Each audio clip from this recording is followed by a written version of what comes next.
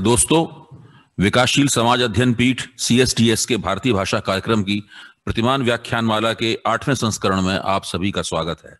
यह व्याख्यान माला सात साल पहले 2013 में, समाज विज्ञान और मानविकी की पूर्व समीक्षित पत्रिका, प्रतिमान समय समाज संस्कृति के लोकार्पण के साथ शुरू हुई थी। इसका पहला व्याख्यान उर्दू के विख्यात विमर्शकार प्रोफेसर शमसुर रहमान फारूकी ने दिया था। उनके बाद संस्कृत के विख्यात विद्वान आचार्य राधा वल्लभ त्रिपाठी दार्शनिक प्रोफेसर अरिंदम चक्रवर्ती न्याय शास्त्र के विद्वान डॉक्टर अमिताभ राजन, धर्म अध्ययन के विद्वान प्रोफेसर अरविंद शर्मा, यशस्वी पत्रकार सुश्री मृणाल पांडे और गालिब की अध्येता प्रोफेसर मेहर अफसा फारूकी ने इस श्रृंखला के तहत अपने विचार व्यक्त किए हैं।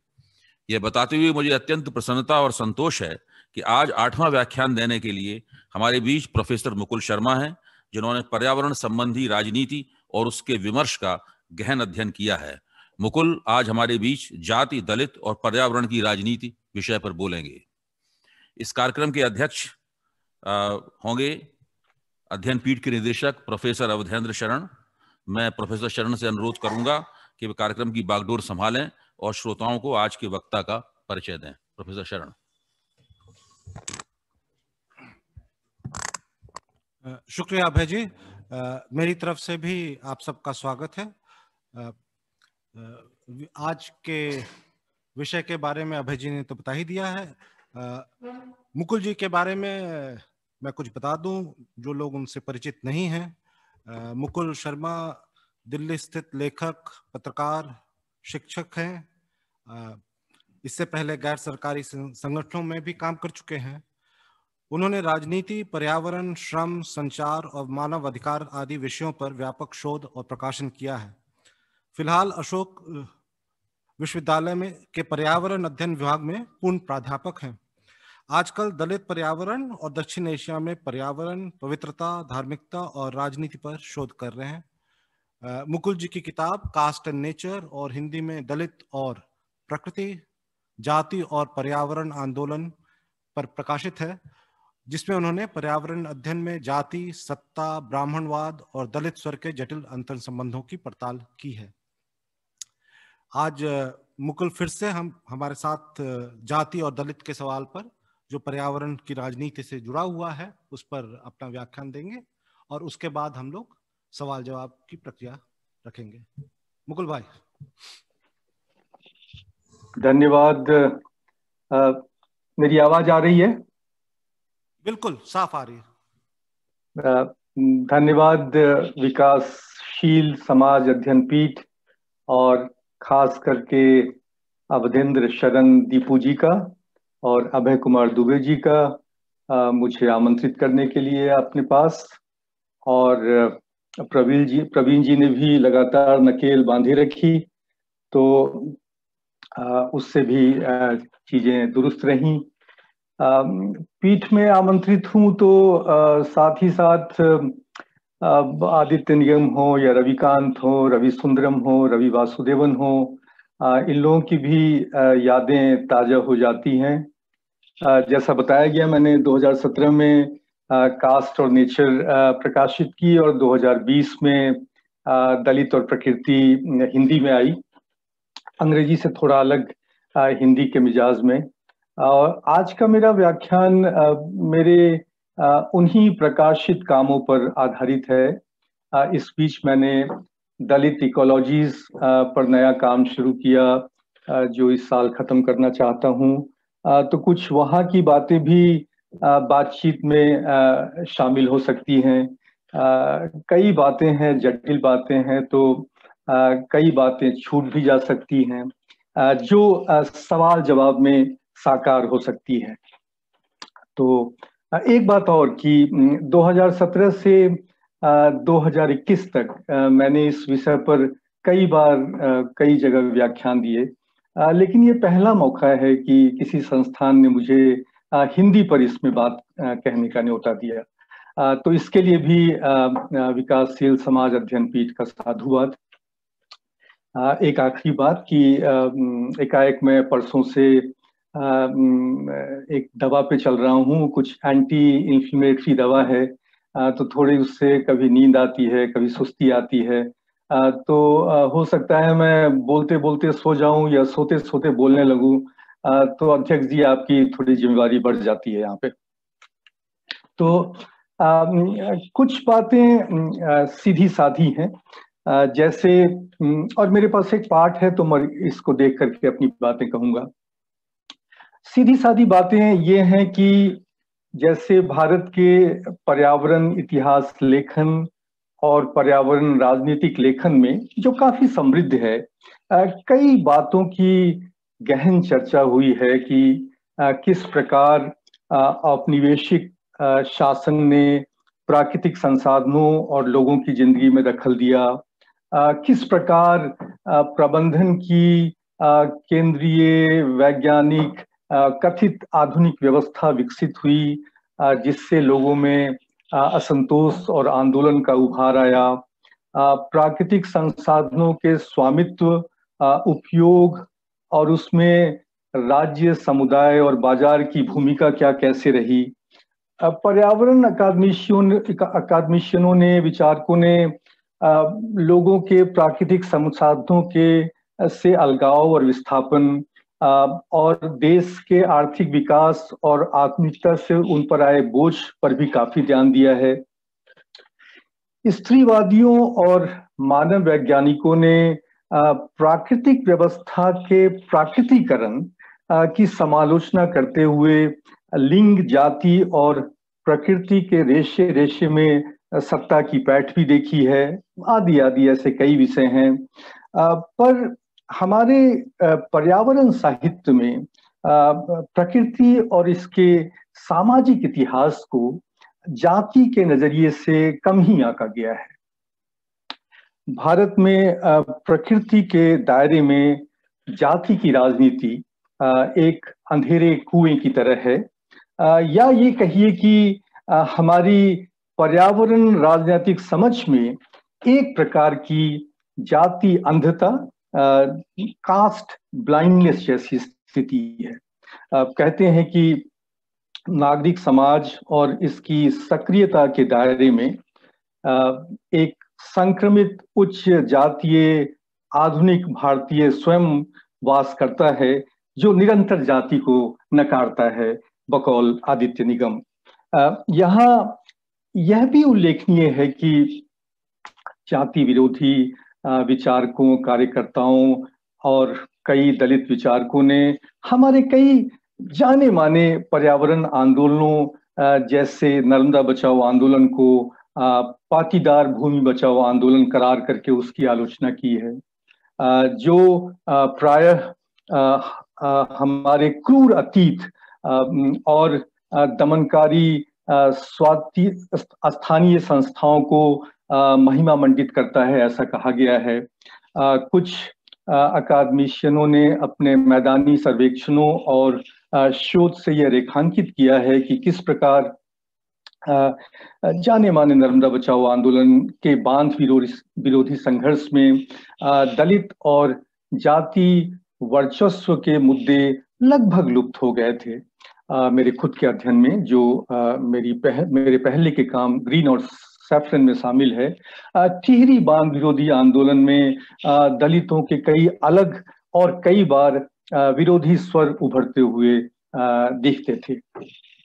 निसंदेह दलितों पर भी काफ़ी उल्लेखनीय अध्ययन है जिसमें अलग अलग विषयों जैसे जाति, दलित इतिहास आरक्षण, सम्मान मानवाधिकार अस्पृश्यता खाद्य, बेरोजगारी, रोज़गार सम्मान, पानी आदि पर गहरा शोध है।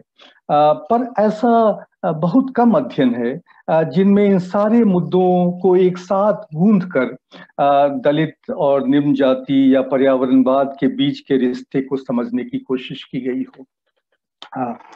यह भी साफ़ है सीधी साफ़ बात है कि दलितों के श्रम प्राकृतिक संसाधन गाँव और समुदाय खाद्य, पशु, शाकाहार और विकास संबंधी विचार हमारे पर्यावरण अध्ययनों में और राजनीति में कम ही शामिल किए गए हैं। इसका एक कारण यह भी हो सकता है कि दलितों ने ये सारे मुद्दे सीधे तौर पर पर्यावरणीय भाषा में व्यक्त नहीं किए वो किसी और भाषा में व्यक्त किए सर्वाधिक सबसे महत्वपूर्ण यह है यहाँ पर कि मुख्य धारा के पर्यावरण विमर्शों में प्रकृति, प्राकृतिक संबद्धता प्राकृतिक अनुभव प्रदूषण आदि के बारे में कुछ खास विचारों के वर्चस्व के कारण, जिसकी मैं अभी आगे व्याख्या करूँगा दलित या तो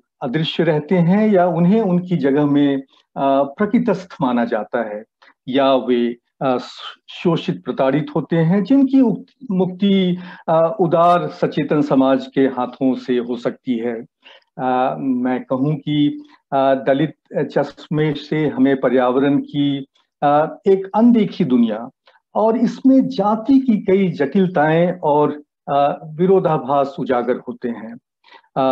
पर्यावरण की दलित अभिव्यक्ति या अन अभिव्यक्ति जाति विरोधी बुद्धिजीवियों के विचार और उनके कार्यक्रम पर्यावरण की समकालीन राजनीति की दशा दिशा समझने के लिए, उसकी भावी दशा दिशा पर काम करने के लिए मेरे अनुसार प्रभावी हो सकते हैं। साथ ही साथ ये भी एक सीधी बात है। यहाँ के विद्युत समाज को बताने की कम ही ज़रूरत है कि हम ये भी ध्यान रखते हैं कि दलितों की कोई एक कोई एकहरी अभिव्यक्ति नहीं है। उनकी भी पर्यावरण समझ, संवेदनाएँ या परंपराएँ समय और स्थान के मुताबिक अलग अलग हो सकती हैं या हैं। तो ये कुछ सीधी सादी बातों के बाद पहले आइए हम प्रकृति और जाति के बारे में एक साथ कुछ समझ बनाने की कोशिश करते हैं। क्या मैं ठीक चल रहा हूँ? मेरी आवाज़ और कैमरा वगैरह ठीक चल रहा है? ठीक है। ठीक है। तो प्रकृति और जाति। क्या क्या प्रकृति और जाति को साथ साथ समझा जा सकता है? एक साथ देखा जा सकता है। हम तो सही ही है प्रकृति को प्राकृतिक सार्वजनीन आंतरिक मानते हैं और जाति एक निर्मित और विशिष्ट ऐतिहासिक और सामाजिक संस्था है जो भारत के लिए अनूठी है। यदि विल्करसन की अभी किताब को छोड़ दें या इस तरह के कुछ और काम को छोड़ दें, और और सामाजिक वर्गीकरण और हिंदू समाज के विभाजन पर आधारित है। यहाँ मेरा मानना है, जो मेरे काम का आधार है, कि हमारे देश में दोनों के बीच प्रकृति और जाति दोनों के बीच गहरा रिश्ता है। कई हिंदू प्रकृतिवादी, हिंदू जातिवादी प्रकृति की तरह ही वर्गीकृत सामाजिक व्यवस्था को यौगिक प्राकृतिक स्वाभाविक मानते हैं जिसकी उत्पत्ति ब्रह्मांड के निर्माण के साथ साथ या उन्हीं पलों में आदि मानव पुरुष के शरीर के बलिदान से हुई थी। साथ ही विद्वानों ने यह भी रेखांकित किया है कि न केवल जाति बल्कि ज़मीन जंगल, जल भी एक जटिल ऐतिहासिक और सामाजिक निर्मिति है। इस तथाकथित प्राकृतिक दुनिया के ही बहुआंश पर इंसानों और गैर इंसानों के कार्यकलापों की अमिट छाप है। प्रकृति के अलग अलग रूपों भूमि उपयोग, नदी, पहाड़, वनस्पति जलवायु पर निसंदेह मानव गतिविधियों का गहरा असर है। ऋग्वेद में एक असमान सामाजिक व्यवस्था के प्राकृतिकरण के से लेकर समकालीन बौद्धिक और पर्यावरणीय विमर्श में, जिसकी मैं आगे भी चर्चा करूँगा जाति और प्रकृति कई रास्तों, समयों और मुकामों पर बार बार मिलती नज़र आती है। जाति और प्रकृति के अंतर संबंधों से कुछ खास किस्म के सांस्कृतिक चित्रण को स्वीकृति या अस्वीकृति मिलती है। स्थान, स्थल और लोग वैधानिक या अवैधानिक करार होते हैं। सामाजिक श्रेणियाँ बनती और विकसित होती है। द्वंद्व और हिंसा पनपते हैं या कुछ ले जाते हैं। जाति जनित प्रकृति की कुछ खासियतें हैं। जो प्रकृति के साथ हमारे संबंधों के संदर्भ में प्राकृतिक संसाधनों की जो सुलभता का सवाल है एक्सेस का जो सवाल है, उससे कहीं ज़्यादा जटिल है। गाँव पेशा कृषि, खाद्य, पानी, ज़मीन और सिंचाई जाति वर्गीकरण से की सत्ता के मज़बूत पाए रहे हैं। और जाति अर्थव्यवस्था प्राकृतिक संसाधनों के उपयोग और उपभोग पर फलती फूलती रही है और आज भी कायम है, कई ऐसे काम हैं। इसलिए यहाँ इस मुकाम पर प्रकृति और जाति के अंतर संबंधों को एक साथ समझने की कोशिश करते हुए हमारे सामने कई सवाल उठते हैं या सवाल उठने चाहिए। कि प्रकृति के विभिन्न प्रयोजनों से जाति वर्गन, वर्गीकरण किस तरह निर्मित या पुनर्निर्मित होते हैं? इसमें पवित्रता या प्रदूषण की क्या भूमिका होती है? प्राकृतिक संसाधनों पर अधिकार और बहिष्कार, गम्यता और अगम्यता के संरचनात्मक सिद्धांत क्या हैं? क्या ये आमतौर पर स्पर्श, टच या वर्गीकरण से निर्धारित होते हैं। या इसके अलावा भी जाति वर्गीकरण के अलग अलग उपादान प्रकृति में सक्रिय रहते हैं। जल की जाति क्या है? क्या जाति संबंधों से किसी गाँव व्यवस्था की सिंचाई निर्मित होती है? आप डेविड मॉर्स का काम याद कीजिए। पानी के परंपरागत स्रोतों और पद्धतियों के प्रति दलित आखिर क्यों संबद्धता महसूस करें? आ, क्या कुएँ तालाब और बावड़ी सबों को सुलभ होते हैं? आ, क्यों और कैसे जाति और इसकी संस्कृति खान पान को शुद्ध और अशुद्ध उचित और अनुचित बना देती है? कैसे जातियों के ज़रिए जानवरों का उपयोग वैध या अवैध करार होता है? दलित आजीविका के पारंपरिक जाति आधारित साधनों के लिए क्यों संघर्ष करें? ट्रेडिशनल हैंडीक्राफ्ट ट्रेडिशनल क्राफ्ट जबकि इसकी वजह से ही कई बार वो कूप मंडुक नागरिक समाज और बाज़ार के हाशिए पर बने रह जाते हैं। किस प्रकार किसी खास पर्यावरणीय और पेशेवर ढांचे के तहत एक खास जाति पर्यावरण की दुनिया और राजनीति से पूरी तरह अंदर या बाहर हो जाती है। आ, किस प्रकार पर्यावरण के कुछ चौराहों पर जैसे दक्षिण भारत में तालाब सिंचाई की तकनीक में जाति और दलित एक दूसरे के हमजोली हो जाते हैं। कैसे दैहिक और सामाजिक पर्यावरण से बस्तियाँ और बस्तियाँ चाहे वो टोला हो चाहे वो चेरी हो चाहे वो बाडा हो नामांकित होते रहते हैं। क्या अस्पृश्यता प्रदूषण, गंदगी, मैल कलंग कलंक आदि आदि दलित पर्यावरण विषय वस्तु के निर्माण के लिए एक ठोस संदर्भ नहीं है। तो इन सवालों से आप जब प्रकृति और जाति को साथ देखने की कोशिश करेंगे तो उसका अंतर संबंध नज़र आएगा। जैसा कि मैंने पहले कहा कि इतिहास में प्रकृतिवाद और जातिवाद के अंतर संबंधों की कई मिसालें हैं। अलग अलग समय और काल में इस युग्मता के अलग अलग उदाहरण मिलते हैं। आ, मैंने कहा ऋग्वेद के अनुसार सर्वव्यापक पृथ्वी और इसके सारे जीव आ, शाश्वत जीव हवा जानवर आ, सब कुछ पुरुष के अर्पण और त्याग के परिणाम हैं। ब्रह्मांड की संरचना हम जानते हैं ब्राह्मण के मस्तक और क्षत्रिय की भुजाओं से हुई है। आ, जांग से वैश्य और पैर के पंजे से शूद्र बनाए गए। संपूर्ण जगत चाँद और सूरज आसमान और समुद्र लोग और उसके अस्तित्व में वर्णाश्रम या चतुर्वर्णीय व्यवस्था अंतर्निहित है जिसके तहत लोग के साथ जनते बताए जाते हैं। इसके बाद कुछ पर्यावरण विमर्श भी जाति व्यवस्था का प्रत्यक्ष परोक्ष समर्थन करते हैं। ब्राह्मणवादी सोच के साथ गठबंधन और जाति प्रेम के कारण प्रकृति की एक ऐसी शब्दावली बनती है जिसमें दलितों और निम्न जातियों और उनके रोज़ाना के पर्यावरण अनुभवों पर लगभग लगभग ग्रहण लग जाता है। और प्रकृति और जाति को एक साथ लाने में शक्ति, सत्ता और प्रभुत्व का भी खासा योगदान है जिससे मानव नियति प्रभावित होती है। शक्ति और सत्ता पारंपरिक और आधुनिक दोनों रूपों में प्रकृति के माध्यम से काम करती है। प्राकृतिक और संरचना के निर्माण और मजबूती में जाति एक महत्वपूर्ण कर्ता और कारक होता रहा है।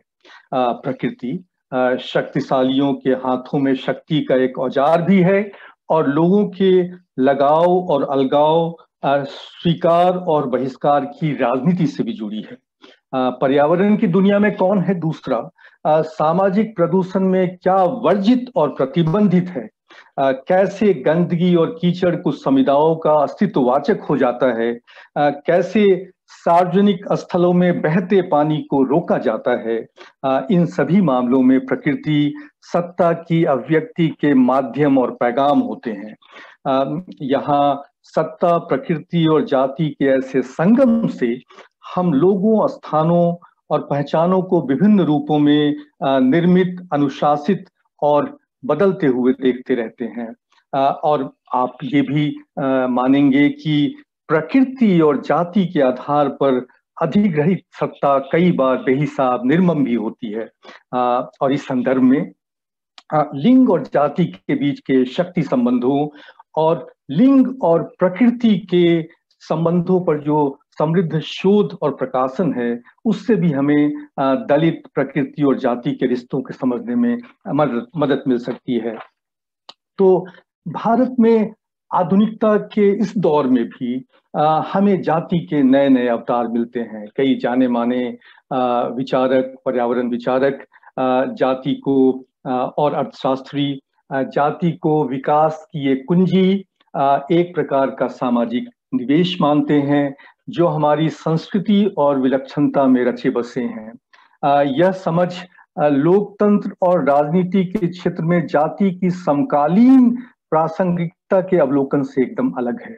यह नव जातिवाद है, जिसकी कई धाराएँ हैं, लेकिन आज मैं केवल दो मुख्य धाराओं का हल्का सा ज़िक्र करता हूँ।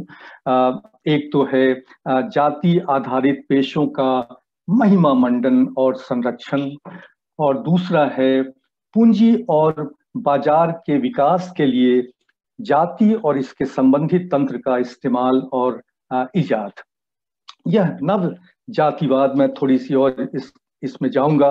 यह नव जातिवाद प्रायः एक तरह के नव प्राकृतिकवाद के कंधों पर सवार है। जिसमें प्रकृति का उपयोग और दुरुपयोग विशेष विचार श्रृंखला, संबंधों, स्थानों और दृश्यावलियों की स्थापना के लिए इसका उपयोग होता है। इसकी चर्चा मैं थोड़ी सी बाद में करूँगा। अब आइए एक और एक और जैसे हमने जाति और प्रकृति को साथ देखकर समझने की कोशिश की, कि वैसे एक और अवधारणा की बात करते हैं जाति का पर्यावरण। पर्यावरण और जाति के अंतर संबंधों को और जाति के पर्यावरण को मैं पर्या जातिवरण कहता हूँ। जिसकी, जिस पर्या जातिवरण की भारत में एक लंबी मिसाल है। जिसका प्रकृति और ब्राह्मणवादी हिंदू धर्म के इतिहास के साथ भी गहरा नाता है। जाति के इतिहास ने भारत में पर्यावरण के इतिहास को भी कई सीधे तरीके से, प्रकट तरीके से प्रभावित किया है। इसके लिए कोई बहुत विलक्षणता की ज़रूरत मुझे मेरे हिसाब से नहीं है। पहला जाति ने प्राकृतिक और सामाजिक व्यवस्था की एक अवधारणा बनाई है, जिसके तहत लोग, जगह पेशे, ज्ञान संस्कार रस्म, व्यवहार तय हुए हैं और होते रहते हैं। जहाँ गहरे वर्गीकरण और सीमाबंदियों के कारण लोगों के शरीर व्यवहार, परिस्थिति, ओहदा काम अस्पृश्य, अनुचित, अलग, वैधानिक, अवैधानिक करार हो जाते हैं।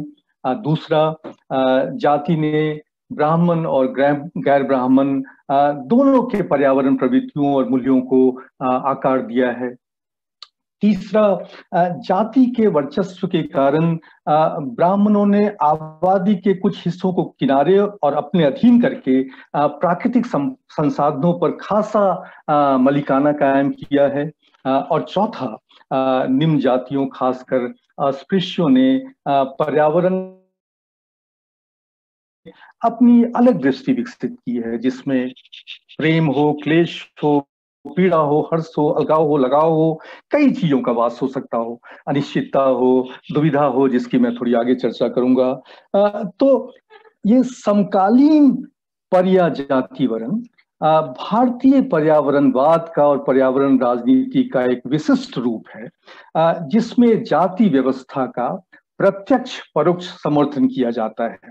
साथ ही साथ आधुनिकता और आधुनिक ज्ञान का खासा विरोध एक विस्तृत और मैं यहाँ पर आज के टॉक में कई कोट नहीं कर रहा हूँ। यदि आप मेरी किताब देखेंगे तो उसमें कई जाने माने पर्यावरण विचारक, लेखक आप आश्चर्य करेंगे। तो मैं यहाँ किसी नाम में नहीं जा रहा हूँ। एक एक एक एक विस्तृत और स्थूल सामाजिक पर्यावरणीय व्यवस्था के तहत अंतर्गत जाति श्रम के विभाजन और पारंपरिक पेशों को सतत संरक्षित विकास की अवधारणा का जनक माना जाता है। यह भी कहा जाता है कि जाति व्यवस्था जनता के बीच से संरक्षण पारिस्थितिकीय अनुकूलता की बेहतरीन व्यवस्था, ये सब कोट है। और उच्च स्तर की विशेषज्ञता है। जिसमें विभिन्न जाति समूह एक पारंपरिक समर्थक संबंधों के बंधन में संसाधनों के संरक्षण में सहयोग करते हैं। यहाँ मैंने कई चीज़ें उद्धृत की है। जाति व्यवस्था का कामकाजी, औचित्य बताने के अलावा पर्या जाति वर्णवादियों ने प्रकृति और जाति के अंतर संबंधों की स्थापना के लिए कई इधर उधर के पर्यावरण तक भी दिए हैं। ऐसी एक व्याख्या के अनुसार प्राकृतिक पर्यावरण से सामाजिक ढांचा निर्मित होता है और हमारे ज्ञान, कौशल और संस्कृति निर्माण में मानव विकास, इतिहास सामाजिक संस्थाओं और व्यक्ति, व्यक्तिगत उद्यमों से कहीं ज़्यादा प्रकृति का असर होता है। प्रकृति के सदियों पुराने जटिल विकास और इस प्रक्रिया में मानव और पर्यावरण की अंतरक्रिया भारतीय समाज में जाति व्यवस्था से ज़्यादा स्थायी, बहुआयामी और सचेतन रही है। इसलिए यह निष्कर्ष निकाला जाता है और यहाँ मैं उद्धृत करता हूँ कि वर्ण व्यवस्था अनिवार्यतः अपनी तार्किकता में पर्यावरणीय है। मैं उद्धरण बंद करता हूँ।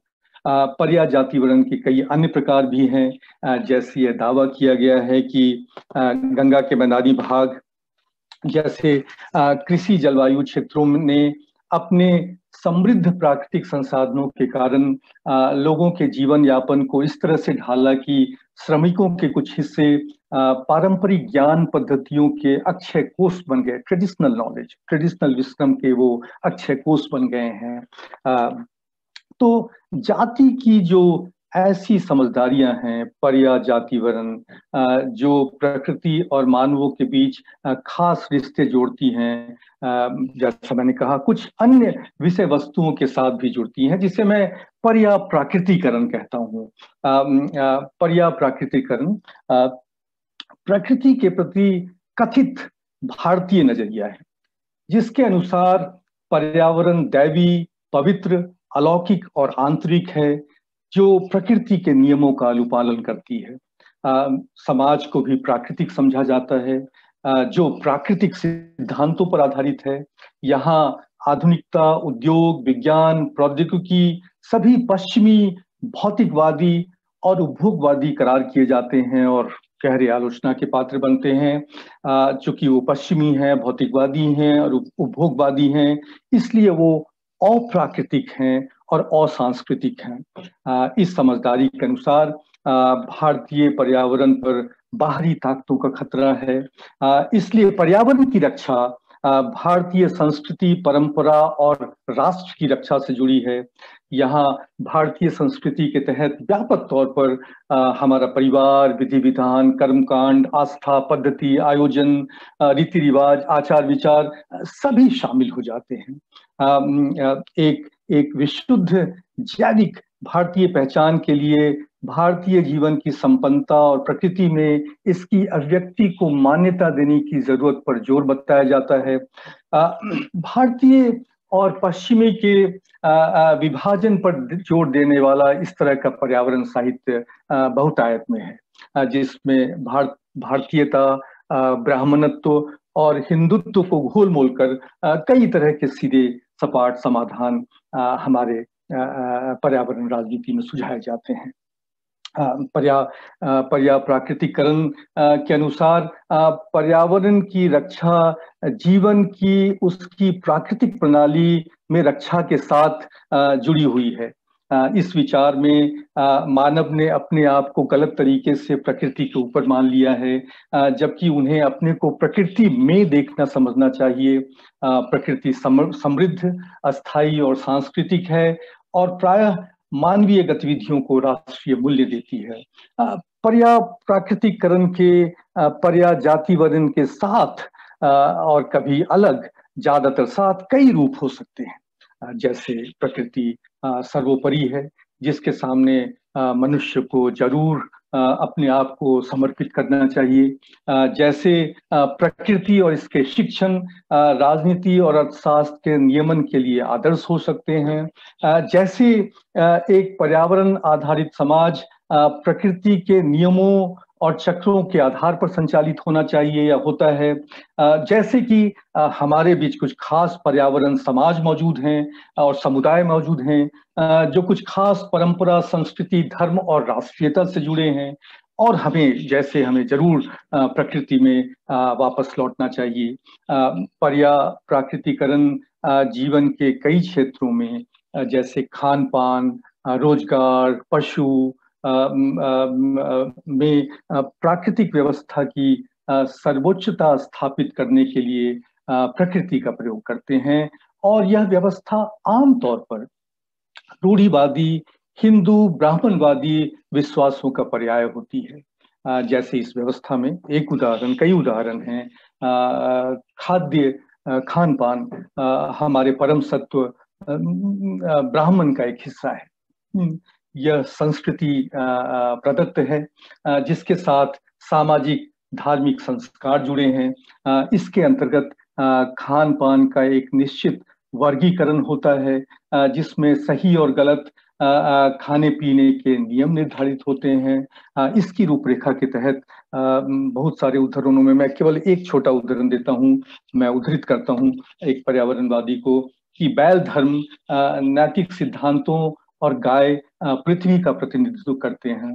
यह दुखद है कि आधुनिक समाज गाय और बैल की सेवा करने का महत्व तो नहीं समझता है और इसके बदले उनकी हत्या करता है और उन्हें खाता है। मनुस्मृति हिंदू धर्म के बुनियादी नियम शास्त्र जानवरों को मारने वालों को हत्यारा मानता है। शास्त्र के अनुसार इस कृत्य में शामिल सारे लोग पशु वध करने वाला, कसाई, रसोईया और मांस खाने वाला प्रकृति की सजा का भागी है उद्धरण बंद तो पर्या जाति वर्ण प्रकृति और पर्यावरण का एक निरूपण है जो खासकर सवर्ण ब्राह्मणवादी है। पर्यावरण इतिहासकार और बुद्धिजीवी नागरिक समाज के संगठन सामाजिक आंदोलन और संघर्षों ने कई बार पर्या जातिवरण के इस एकहरे और प्रभुत्वशाली राजनीति के विकास में जाने अनजाने मदद की है। पर्यावरण के क्षेत्र में, पर्यावरण राजनीति के क्षेत्र में ऐसे खासे उदाहरण हैं और मैं आगे आऊँगा। जब दलितों की सोच समझ को दरकिनार किया गया है और सवर्ण हिंदू नज़रिए को तरजीह दी गई है। आप भारतीय पर्यावरण साहित्य अकादमिक, वैज्ञानिक, राजनीतिक, आर्थिक, काव्यात्मक, भावात्मक मिथिकीय पर एक उड़ती नज़र डालें। तो यहाँ रामायण, महाभारत, वेद, राम, कृष्ण, अर्जुन, गंगा, यमुना, दुर्गा, देवी जैसे त्योहारों के हवाले छाए रहते हैं, जो एक एक मात्र तस्वीर पेश करते हैं। ये भारत की गौरवशाली अतीत परंपरा और संस्कृति के एकमात्र वाहक हो जाते हैं। इसके साथ ही साथ पाश्चात्य भौतिकवाद और आधुनिकता को लेकर लगातार दुश्चिंताएँ रहती हैं जिन्हें भारतीय पर्यावरण और संस्कृति को मलिन करने का एक मुख्य कारक समझा जाता है। और और ध्यान रखिए कि पर्या जातिवरण या पर्या प्राकृतिकरण की प्रवृत्ति कोई हमेशा हिंसक नहीं होती है। आ, आ, वो आपको रास्ते चलते आ, लिंच नहीं कर देती है बल्कि ये हमारे आ, सामाजिक और राजनीतिक विमर्श के स्तर पर आ, और भारतीय पर्यावरण संस्कृति के बारे में जो हमारे विश्वास मूल्य और समझदारी हैं उसको लंबे हल्के में प्रभावित और उसका शक्ल दे रही होती है। अब हम तीसरे हिस्से में आ, समय देख रहे पर्यावरण और दलित इस पर थोड़ी सी अपनी समझदारी बनाने की कोशिश करेंगे। जैसा कि मैंने पहले कहा एक बार फिर दोहरा दूँ जिससे कोई गलत फहमी ना हो कि दलितों की कोई एक श्रेणी या पहचान नहीं है न ही उनके व्यवहारों और परंपराओं को किसी एक सांचे में ढाला जा सकता है। विभिन्न जातियाँ, उपजातियाँ उनकी प्रकृति, प्राकृतिक संसाधनों और पर्यावरणों के बारे में कई विविध, जटिल सुलझी, अनसुलझी बातें हैं। बहुत कुछ शोध से बाहर हैं। मेरा ये भी कहना ज़रूरी है कि पर्यावरण, जाति और राजनीति के अंतर संबंधों की व्याख्या करते हुए मेरा ऐसा कोई दावा नहीं है कि दलितों की पर्यावरण, प्रवृत्ति और व्यवहार कोई सर्वोत्तम या आदर्श है। बल्कि यहाँ पर्यावरण को दलित आँखों से देखने भर की कोशिश है और इस और इस इस इस प्रक्रिया में पर्यावरण और दलित शोध दोनों के लिए यदि कुछ नए चित्र उकेरे जा सकते हैं तो उसकी कोशिश है। आ, कुछ दलित बुद्धिजीवियों ने यह तर्क दिया है कि आ, दलित प्रकृति के ज़्यादा निकट हैं और इसलिए उनमें औरों की तुलना में कहीं ज़्यादा सांस्कृतिक और पर्यावरणीय ऊर्जा और सृजनात्मकता है। आ, उत्तर हिंदू भारतीय जीवन के विभिन्न हलकों में दलितों की भूमिका और योगदान की संभावनाएँ बताने के लिए उनके मौलिक पर्यावरण प्रौद्योगिकी वैज्ञानिक और उत्पादक ज्ञान की भी चर्चा की गई है। तो दलित प्राकृतिकरण या आदर्शीकरण भी मेरे विचार से एक प्रकार का पर्या जातिवरण है और जाति अनिवार्यता है। इसमें आश्चर्य नहीं कि खुद दलित कई बार प्राकृतिक और प्रकृति के नज़दीक होने का दावा करते हुए अपनी जाति पहचान और चेतना पर गर्व महसूस करते हैं। पर्यावरण इतिहास, लेखन की सीमा रेखाओं को लांघने और प्रकृति के साथ दलितों के संबंधों की लंबाई और गहराई को अंकित करने का उपक्रम दलितों के स्वर्णिम अतीत का मिथक कायम करना नहीं है। न ही यह कहा जा सकता है जितनी मेरी समझ है। इतिहास की कि दलित शासक या शासित के रूप में प्रकृति के साथ कोई संपूर्ण सामंजस्य में थे। जहाँ तक मुझे समझ में आता है दलित और पर्यावरण के अंतर संबंध काफ़ी जटिल विरोधाभासी और तनावपूर्ण हैं। पर्यावरण की मनुष्य केंद्रित अवधारणाओं में जिसको आजकल बड़ी चर्चा होती है एंथ्रोपोसीन की मुख्यतः मानवीय अनुभवों पर ध्यान रहता है। और एक अस्पृश्य या एक जाति बहिष्कृत या एक बंधुआ मजदूर जिसे एक इंसान से कमतर माना गया है। मनुष्य प्रकृति के युग्मक में नहीं समाते हैं। एंथ्रोपोसीन उसकी व्याख्या नहीं करता है। हमें, मुझे तो चुनौती पेश आती है कि मानवीय अस्तित्व के हाशिए या उससे बाहर जीने वाले लोगों के लिए प्रकृति के अर्थों और अनुभवों और प्रभावों को कैसे समझा जाए। एक सच ये भी है आप शायद माने कि एक एक एक गहरे श्रेणीबद्ध समाज में दलितों के रोज़ाना के पर्यावरण अनुभवों और वृत्तांतों में प्रकृति के बोझ भरे होंगे। ज़मीन की छवियों में जाति द्वंद से निकले हुए श्रम, रक्त और दास्ता के चित्र भी सजीव हो रहे होते होंगे।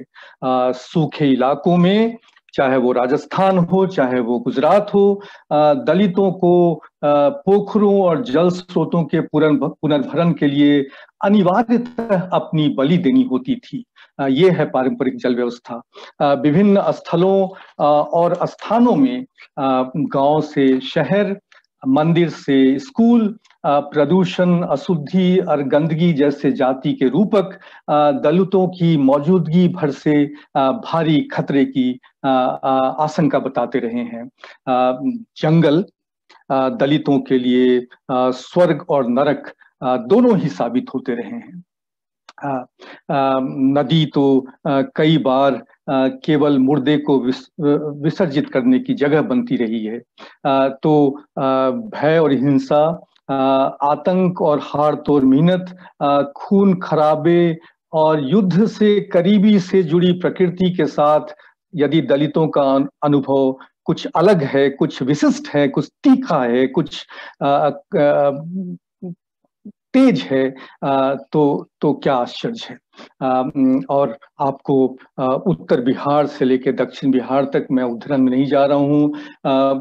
भूमिहीन खेत मजदूरों के कितने गीत मिलेंगे जिसमें जंगल, जानवर, लकड़ी और मौसम की कितनी दर्द भरी, दुखद स्मृतियाँ नज़र आएँगी। लेकिन इसके साथ ही साथ हम यह भी जान सकते हैं कि दलितों का एक अपना समृद्ध और विविध पर्यावरण इतिहास और संवेदनशीलता है।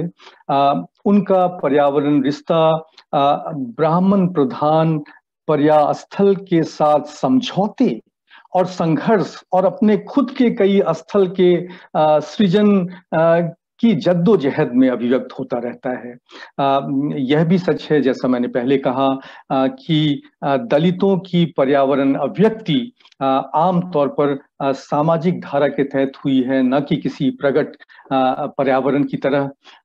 यह कई बार मुख्य धारा की जगह हाशिए पर यहाँ आपको चिपको शायद न नज़र आए राष्ट्रीय की जगह स्थानीय पर और परिष्कृत न होकर अनगढ़ दिखती है।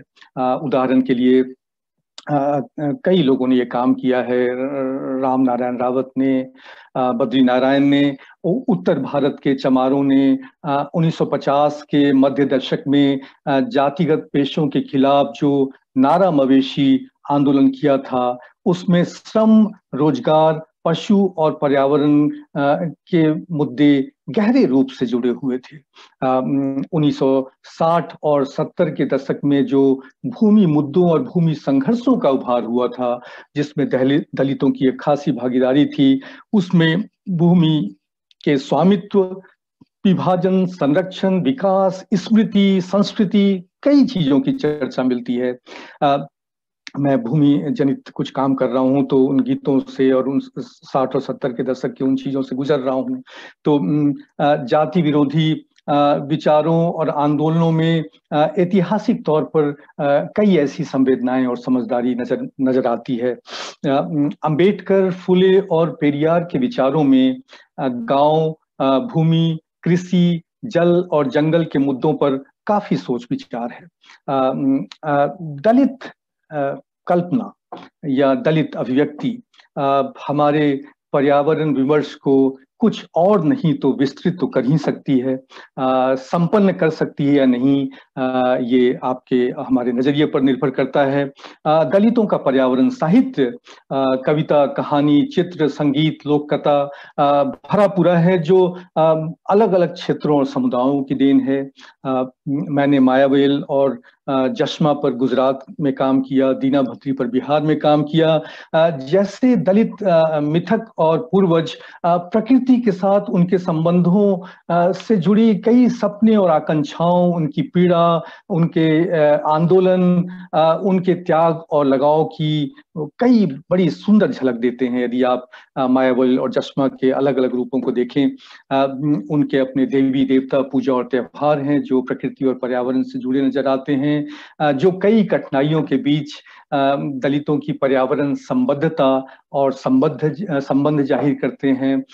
कई लोगों ने इस दिशा में थोड़ा बहुत काम किया है। जैसे कट्टा साई सम्मा जो पानी की देवी और तालाब व्यवस्था की अन्वेषक मानी जाती है। पोटा राजू जो मिट्टी और ज़मीन का संरक्षक बताए जाते हैं। चांडी तकनीकी ज्ञान की प्रणेता है। उड़ीसा में नुआखाई दलाखाई थोड़ा मैंने भी काम किया है, दुमा और माटी देवी और अनेक प्रतीक हैं। तो यहाँ दलित अपने आप में पर्यावरण के एक सक्रिय कर्ता नज़र आते हैं। और कई अर्थों में उससे जुड़े आचार, नीति, संसाधनों के संवर्धन और उपयोग श्रम और पर्यावरण की समझ को सामाजिक न्याय के बोध और विवरण के साथ गूंद कर प्रस्तुत करते हैं। यहाँ थोड़ा सा रुक करके समय, चूँकि कमी है मैं जो जाति विरोध के जो कुछ अग्रणी विचारक हैं, जो आप विद्वत समाज मुझसे कहीं ज़्यादा जानते होंगे फुले और पेरियार के लेखन की भी चर्चा करना चाहता हूँ। जिसकी खास विवेचना की जानी चाहिए, क्योंकि यदि आप फुले और पेरियार के लेखन को देखें जिन्होंने दास्ता, विषमता और बहिष्कार की आलोचनाओं को काफ़ी हद तक प्राकृतिक संसाधनों के साथ जोड़ा था। उन्होंने प्राकृतिक संसाधनों के स्वामित्व और कृषि सुधार के सवाल उठाए थे।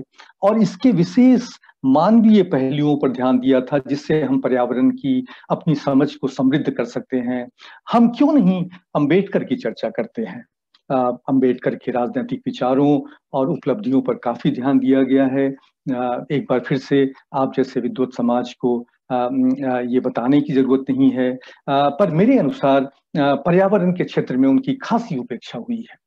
जबकि अंबेडकर ने प्रकृति, गाँव, भूमि, कृषि, जल उद्योग, प्रौद्योगिकी, विकान, विकास, विज्ञान आधुनिक आधुनिकता जैसे मुद्दों पर व्यापक चिंतन, मनन और लेखन किया है।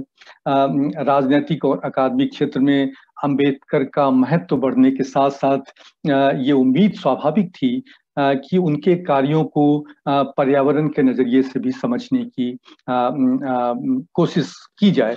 पर ऐसा नहीं हुआ है। पर्यावरण इतिहासकारों और लेखकों ने महात्मा गांधी, जवाहरलाल नेहरू और यहाँ तक कि इंदिरा गांधी पर भी खासा लेखन कर दिया है। हाल में कोई एक किताब भी आई है। पर अंबेडकर को एक किनारे कर दिया है। अंबेडकर ने, जैसा हम जानते हैं भारतीय समाज की व्यापक समालोचना की है और एक नए गणराज्य की उनकी परिकल्पना में विविध सामाजिक, राजनीतिक, ऐतिहासिक, आर्थिक और नैतिक धाराएँ हैं। जो कई प्रकार से प्रकृति के विभिन्न पहलुओं का अन्वेषण है। इसलिए अंबेडकर ने प्राकृतिकवाद और हिंदू सामाजिक व्यवस्था बाह्य सार्वजनीन और सामाजिक प्रकृति समकालीन प्रकृति और सामाजिकीकरण विकास और प्रकृति गाँव और समुदाय पर काफ़ी चिंतन और प्रकाशन किया था। गाँव और समुदाय की कितनी चर्चा होती है हमारे पर्यावरण विमर्श में। इन सबको यदि गूंथ कर देखा जाए तो कुछ नहीं तो हमें अंबेडकर की कम से कम एक कृषिक दृष्टि बनाने में ही मदद मिल सकती है। यह दृष्टि हो सकती है कि दलितों का भूमि स्वामित्व और भूमि सुधार कैसे हो सवर्ण किसानों जैसी स्वाधीनता और समानता की चाहत क्या हो स्वामियों के नियंत्रण से जल स्रोतों की मुक्ति कैसे हो और और राजनीतिक साम, सामाजिक समानता के नज़रिए से प्राकृतिक दुनिया पर दलित नियंत्रण और हस्तक्षेप की कोशिश क्या हो सकती है? आप सभी लोग जानते होंगे कि अंबेडकर ने जो जिस वातनदार महार व्यवस्था को चुनौती दी थी, जिस खोटी भूमि अधिकार व्यवस्था को चुनौती दी थी जिस प्रकार से भूमि संयुक्तिकरण और संरक्षण के विचार पर काम किया था। वन भूमि संबंधी प्रस्ताव अंबेडकर के महार सत्याग्रह प्रसिद्ध है। और और जल संसाधनों के नियोजन सिंचाई परियोजनाओं में जो उनकी भूमिका थी। तो ये बताता है कि किस प्रकार पर्यावरण, अर्थव्यवस्था, राजनीति, संस्कृति, न्याय और नैतिकता के मूल्य एक साथ जोड़कर देखे जा सकते हैं। पर्यावरण अंबेडकर के आधुनिकता और विकास संबंधी विचारों को एक व्यापक ऐतिहासिक, सामाजिक और राजनीतिक संबंधों में भी संदर्भों में भी समझने की ज़रूरत है। हम जानते हैं वो संदर्भ था स्वाधीनता आंदोलन और स्वतंत्रता का, लोकतंत्र और विकास की यात्रा का। उनकी आधुनिकता की परिकल्पना में दो अंतर संबंधित प्रवृत्तियाँ हैं। पहली सकारात्मक जो लोगों की भौतिक और आध्यात्मिक जरूरतों की पूर्ति के लिए वैज्ञानिक और प्रौद्योगिकी की संभावनाओं से जुड़ती है, और दूसरी नकारात्मक जिसमें प्रकृति का शोषण और तीव्र और गहरा होता है। अंबेडकर प्रकृति और समाज के संबंधों की अवधारणा विकसित करते हुए इन दोनों प्रवृत्तियों के गुत्थम गुत्था का अंदाज नहीं कर पाए। बाद के दौर के आर्थिक और सामाजिक विकास में न केवल पर्यावरण संकट गहरा हुआ बल्कि दलित और पर्यावरण के बीच के संबंध भी आ, आ, किसी मुकाम पर नहीं पहुँच पाए। तो कुछ दलित आंदोलनों पर यदि नज़र डालें तो बिहार के जिन दो क्षेत्रों का मैंने अध्ययन किया है वहाँ दलितों ने सामूहिक रूप से अपनी पर्यावरण दृष्टि से पानी के आंदोलनों को आ, के ज़रिए अपनी पर्यावरण दृष्टि को विकसित करने की कोशिश की है और इसके लिए धार्मिक सांस्कृतिक और सामाजिक स्रोतों के ढेर से संदर्भ लिए हैं। आ, आप में से कईयों ने गंगा मुक्ति आंदोलन का नाम सुना होगा।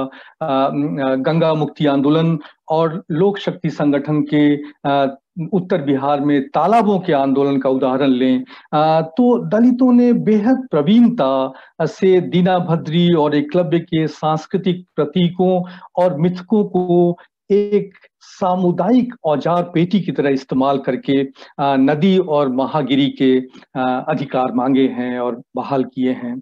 और अपने आप को अतील, अतीत स्थल और संसाधनों से कई बार करीबी से जोड़ा है। दलित मिथक, चाहे वो दीना बद्री हो, मायावेल हो जश्मा हो, और ऐसे कई हैं उनके पर्यावरणीय कल्पनाओं और संभावनाओं की एक वानगी तो देते हैं जिससे न केवल उनका अतीत उजागर होता है बल्कि जाति व्यवहारों और हिंदू मिथकों के दबदबों की सकारात्मक आलोचना भी होती है।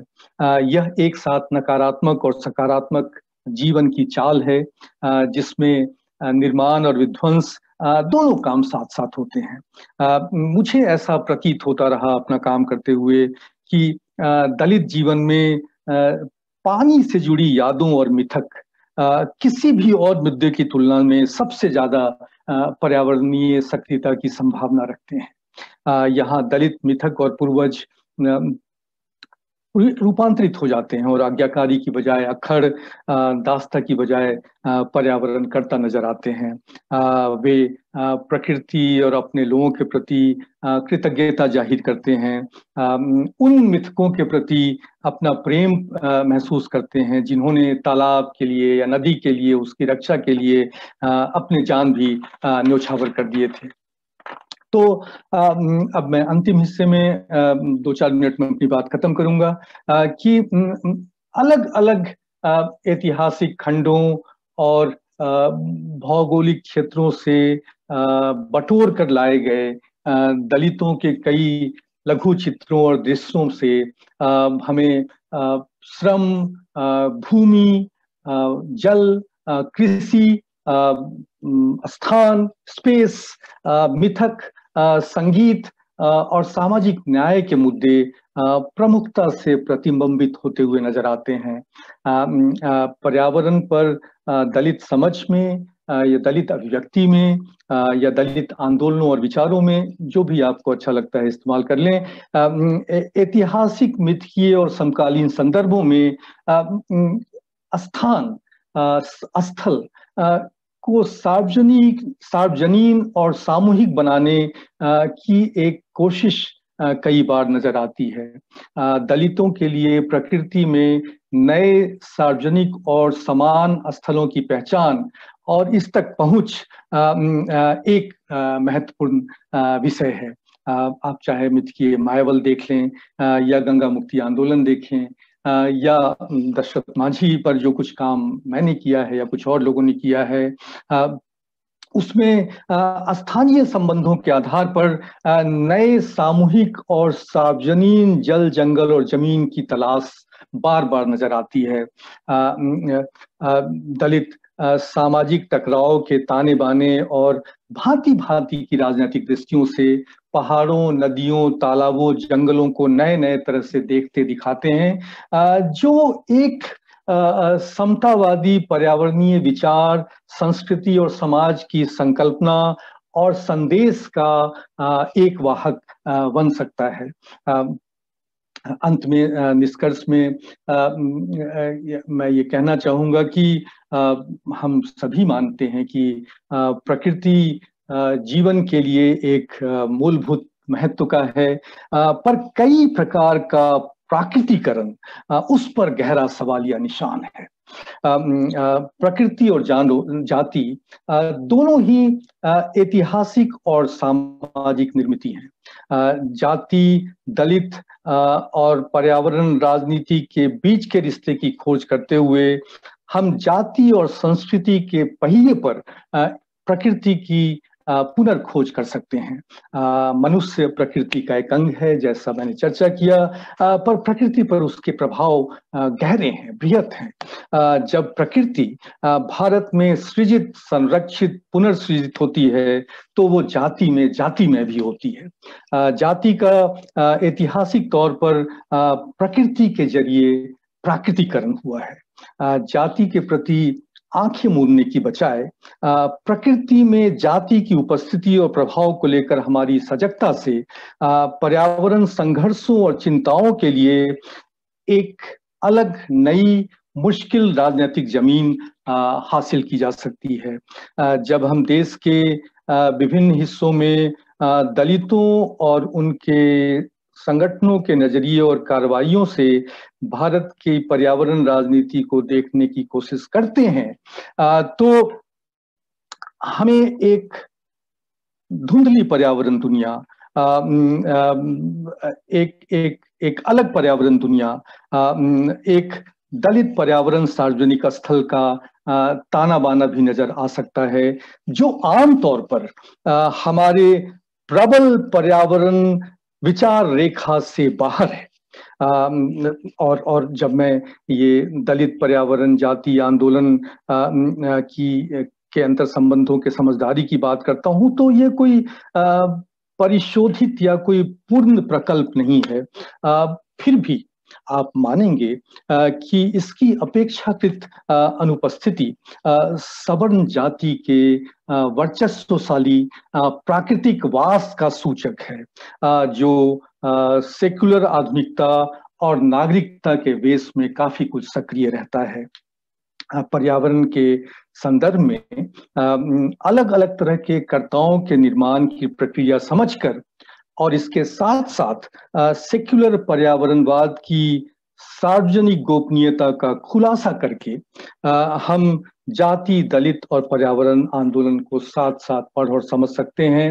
आ, जैसा हम सभी जानते हैं कि भिन्न भिन्न समयों और स्थलों में लिंग और प्रकृति नस्ल और प्रकृति प्रजातीयता और प्रकृति और संस्कृति लिंग और जाति वर्ग और सत्ता के बीच के अंतर संबंधों की खोज से हमारी पर्यावरण समझदारी और राजनीतिक समझदारी विकसित ही हुई है और एक कई नई तरह की संभावनाएँ पैदा हुई हैं। तो क्यों नहीं जाती प्रकृति, पर्यावरण और पर्यावरण राजनीति के अंतर संबंधों को नए तरह से देखने और समझने की कोशिश की जाए? आप तमाम लोगों का धन्यवाद। और हो सकता है यदि मैंने कुछ ज़्यादा समय लिया हो तो उसके लिए आपसे माफ़ी चाहता